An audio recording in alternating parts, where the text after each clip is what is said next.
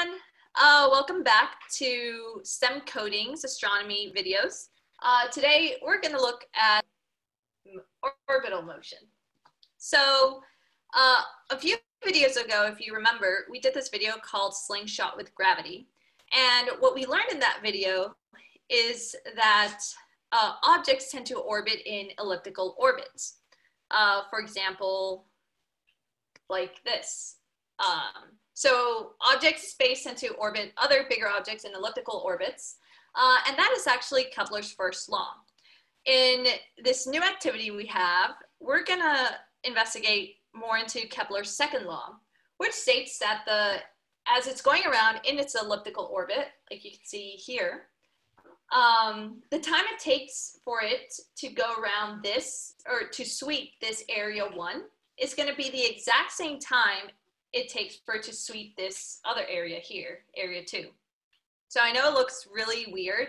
Uh, how can it actually sweep this area one um, at the same, like this small, it looks small. How can it sweep this sort of small looking area one at the same time as it sweeps this bigger looking area two? But uh, you'll learn that these two areas are actually gonna be exactly the same. So let's get to doing this activity. So welcome everyone. When you start the activity, you'll be on this page. And then in step one, it will say click here to open the code from the end of the slingshot with gravity activity. As soon as you click this, it'll open up a new web editor. And here you can see different values listed for X, Y, VX, VY, and so forth. And if you click play, you'll notice that you see a diagram of this planet moving around the sun. Um, and it says right now to click and drag the mouse to launch the object, but we haven't put in that functionality just yet. Okay, now we can begin to input new pieces of this code. So go back to the previous tab, and here's all this code with t counter 1 plus equals dt, um, and draw text and more things to actually make an animation of Kepler's second law. So you're going to click on copy to clipboard, go back to your editor and you're going to paste that near the end of the draw function, but before this line here that says do not add any code after this line. So I'm going to put it here around line 45, where I just control V to paste. And now we play.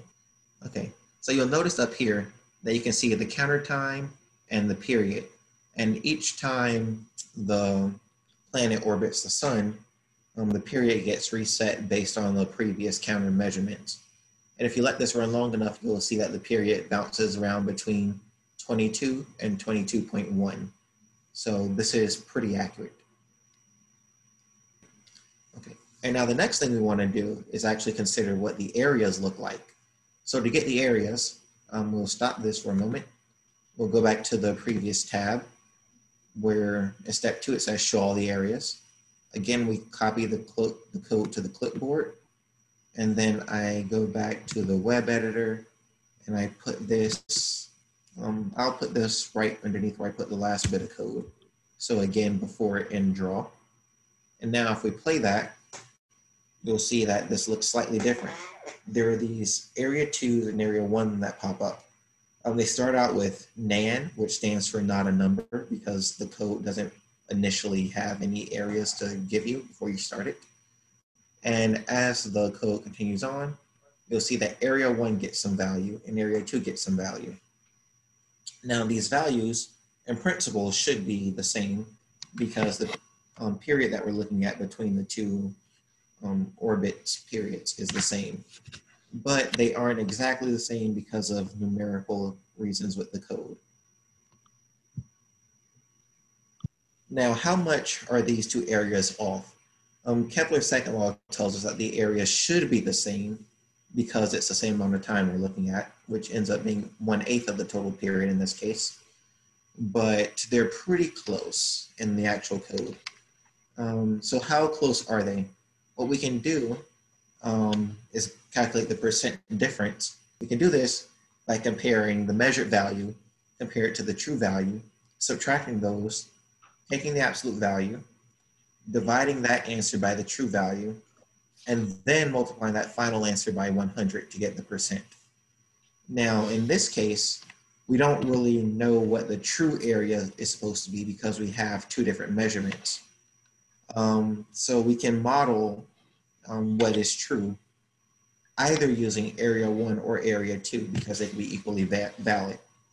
So if you prefer, um, where you see measure, you can write area one, and where you see true, you can write area two, or the opposite. Where you see measure, you can write area two, and where you see true, you can write area one. Um, the result should be very close to the same. Um, and when you multiply that by 100, we'll get percent. So what I'm going to do is we'll come back here, we'll run the code again, and we'll get a few different values that pop up for area one and area two. Now, um, for those of you that might not be able to write quick enough to capture all these numbers, you can always right click on the screen and click save image as. And then the image that you um, save will be a snapshot of what you're looking at here.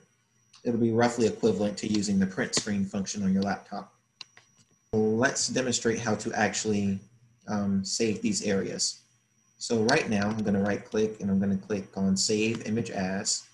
Um, and I should warn you that some different browsers might have slightly different notations for what they call Save Image As, but it should be more or less the same.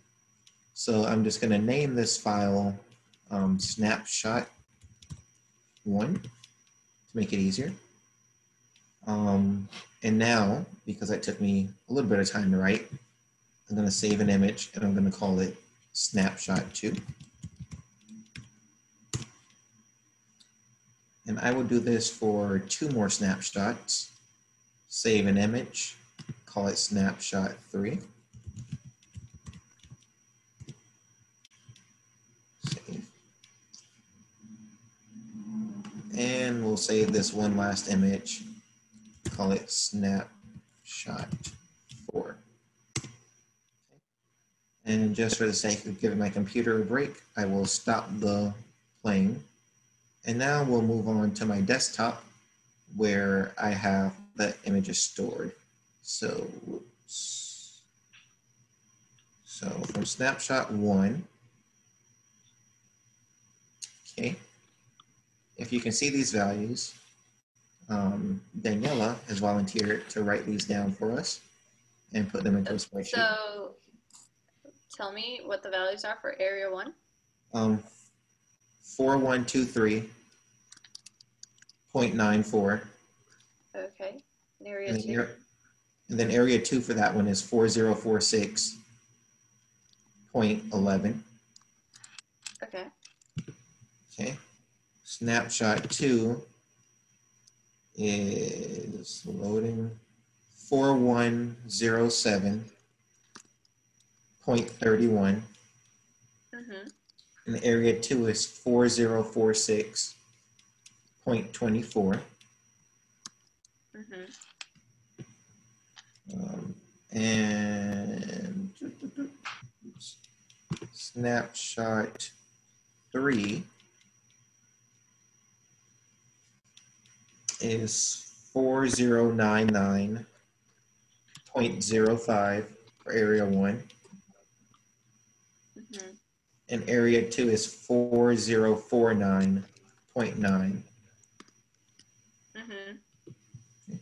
Last, we have snapshot four, which gives us 4090.83 for area one and 4031.81 for area two. All right. I got those numbers written down. Awesome. Thanks, Jamor, for those area one and area two values. So what I'm going to do now is calculate the percent error. Now, I know Jamor mentioned that uh, you could choose either one to be the true value, but in order to be a little more accurate, how about if we take the average of both area one and area two and call that the true value? So basically what we're gonna do is we're gonna say the percent error is gonna equal 100, because that's how we're gonna make it a percent, times the absolute value. I'm gonna call the absolute value ABS of the measured area minus the true area, um, and then divided, divided by the true area. But like I mentioned, uh, in order to, since we don't have a true area, we're just gonna take the average of both. So in reality, what we're gonna do is um, say measured minus average divided by average. So this is going to be the equation we're going to use. So let's start, um, let's start uh, calculating each piece by piece. So first we're going to start with the average. And after we take the average, I'm going to uh, calculate this difference and take the absolute uh, value of that. So I'll just call this difference. And once we have these two pieces, we can figure out the percent error. So Excel is pretty smart at doing math for you. So to take the average, what I'm gonna do is say, tell Excel to get area one plus area two and divide it by two, right? Because that's how we get the average. And then what I can do is grab, once I click this, I can grab this um, little box and drag it down and it calculates the area for everything at once. So like I said, Excel is pretty smart and it's pretty handy to help us do all this math. Um, okay, now I'm gonna find the difference. So to find the difference, uh, remember it's I'm taking the absolute value of the difference. So let me just write that down here. Um, so it's the absolute value of the difference. And in order to do that, again, I'm going to tell Excel to find the absolute value of um, area two, area one. I'll call that the measured value um, minus area minus the average because that's going to be our true value. And if I hit enter, that is the absolute value of our difference. So again, since Excel is smart, I'm going to make it do the work for me. Just drag it down, and there we have the difference. Okay, so now since we have this piece of the equation and this piece of the equation, all we have to do is multiply these two pieces by 100 to get the percent error. So I'm going to multiply 100, or actually in Excel, you have to put equal first in order for to tell it you want to do math. So I'm going to say 100 times uh, this absolute value of the difference. And then I'm going to divide by the average. And I hit enter, and that's our percent error. We have 0.9 now you can see that our error is actually less than 1%. That is amazing. With our code, uh, we're able to see that both areas are almost the same uh, value. Of course, we can improve this uh, if we low, lower our DT. Um, and if you try it on your own, take different snapshots and calculate the percent error on your own, you'll see that this percent error should eventually go down to zero um, or very, very close to zero. So go ahead, try that on your own, but we can at least celebrate that our percent error is less than 1%.